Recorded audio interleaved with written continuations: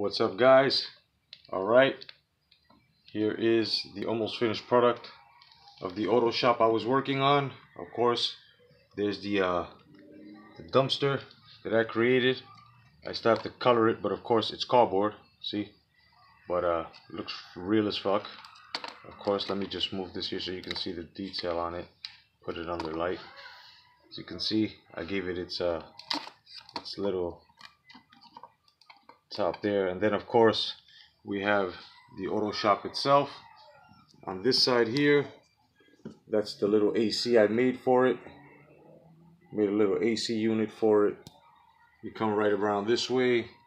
Of course, it's got an air vent for the roofing on the top there that I created. And then you've got your billboard, which I will show you. And then, of course, you've got a working light with the door. Of course. And then if we swing right around this way, you will see the billboard right there with working lights and my logo on it. And still more to come. I'm going to add a fire escape whatsoever on there.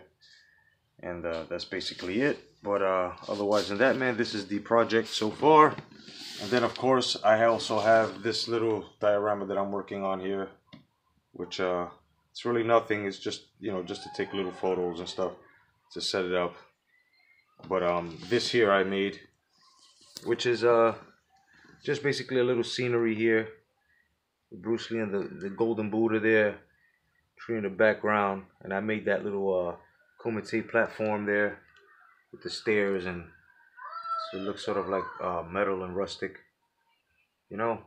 And uh, was Krillin and everybody. Yep, and there you go. That that's basically uh that's basically what we're doing. So there goes my whole auto shop setup there. It's all set up, as you can see.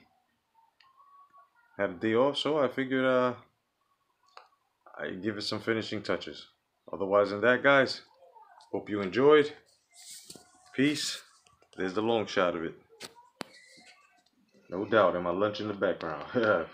Alright, guys, see you soon.